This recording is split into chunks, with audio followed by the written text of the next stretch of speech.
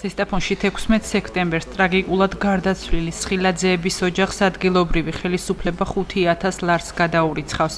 აღნიშნული საკითხი იყო დღევანდელი რიგარეშე საკრებულოს ხდომის დღის წესრიგით გათვალისწინებული მთავარი თემა.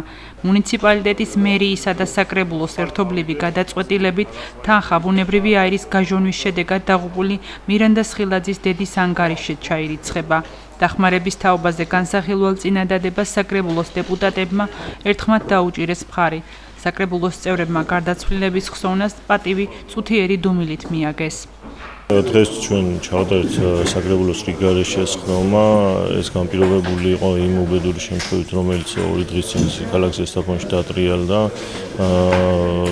მე მერიამ და საკრებულოს ერთობლივი გადაწყვეტილებით მივიღეთ გადაწყვეტილება რომ დახმარებოდით ამ უკიდურესად გაუბედურებულ გაჭირვებულ ოჯახს მიუხედავად იმისა რომ ვერ შეამცირებს მათ ტკივილს ეს ჩვენ ცირედი დახმარება, მაგრამ ჩვენ ჩვენი კუთხით რაც შეგვეძლო დახმარებას უწევთ გარდაცვლილის ოჯახს. ძალიან ძიმე მდგომარეობა ოჯახში.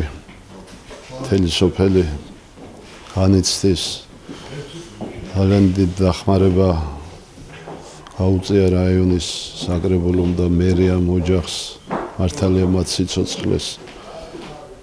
ეს ერაფელში წაადგება, მაგრამ აუცილებელია რომ იმ ქვეყნად წასულთა მატევისემისათვის, მატევგებისათვის, იმ ხარჯებისათვის, რომელიც მათი სასაფლაოს მოწყობა სჭირდება, თანხა გაიღო 5000 ლარის ოდენობით და ამისთვის ალბათ მადლობა უნდა მოვახსენოთ და ვისურვოთ რომ ეს ოჯახის დანარჩენი წევრები ჯამთილად იყვნენ ძლიერად იყვნენ იმისათვის რომ მათ საფლავს მოუარონ მათ ხსოვნას პატივიცენ და ის პატარა ანგელოზების სახელი შემოინახონ შემოუნახონ დანარჩენ თავიანთ შთამომავლობას